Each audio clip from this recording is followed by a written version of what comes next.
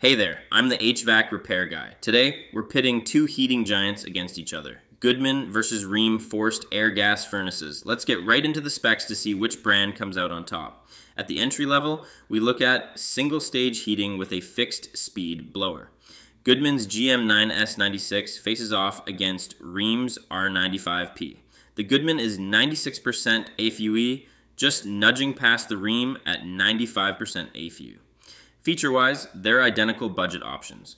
Both units provide a robust lifetime warranty on the heat exchanger, but neither includes a unit replacement guarantee on these basic models. Stepping up to premium comfort, we get two-stage gas valves and variable speed blowers for quieter, more even heating.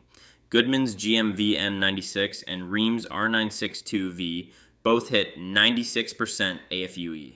The key upgrade here is the warranty. Both brands offer a fantastic 10 year unit replacement warranty if the heat exchanger fails. For the absolute best, we move to modulating furnaces, which constantly fine tune the heat output. Goodman's GMVM97 is 97% AFUE. Rheem's top model, the R98MV, achieves a class leading 98% AFUE.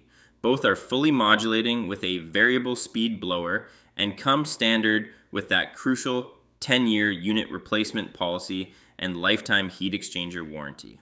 Rheem has the efficiency edge at the very top. Bottom line, Goodman and Rheem are almost clones across their model lineups, matching feature for feature and warranty for warranty.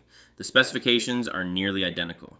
Your decision should ultimately come down to the installation quality and the price from your local dealer, not the badge on the unit. Always get multiple bids, this is the HVAC repair guy, keeping you comfortable. See you next time.